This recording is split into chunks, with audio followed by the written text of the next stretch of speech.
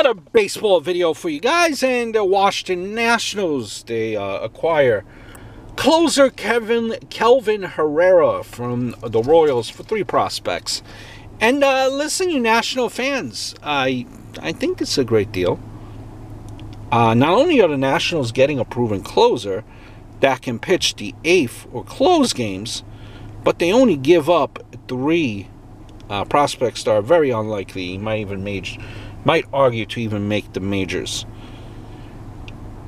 I've criticized uh, Rizzo with the Adam Eaton deal, but this one is it's a great move.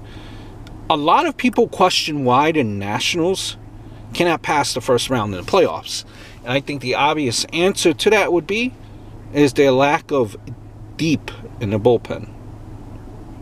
Now, but, but, maybe I tell you guys, maybe let's keep Herrera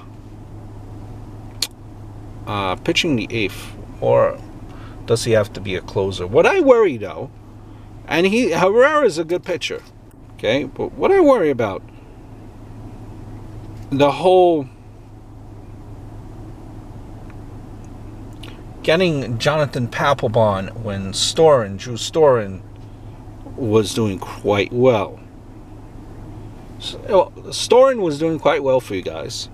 Just like Doolittle right now is doing his. And screwed up the chemistry of the whole team.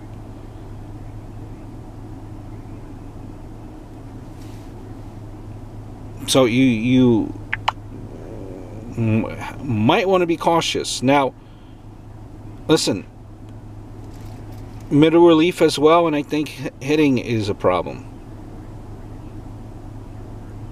Harper right now, as much as you love him, I think he is hurting the team a little bit. Move him maybe down to fifth or sixth. Take some pressure off him.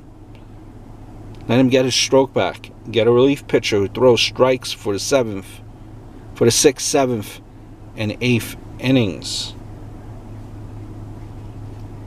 Can Kelvin pitch in a setup role for you guys? I think that's a very key question. It's a great trade if used properly. Hope all is well.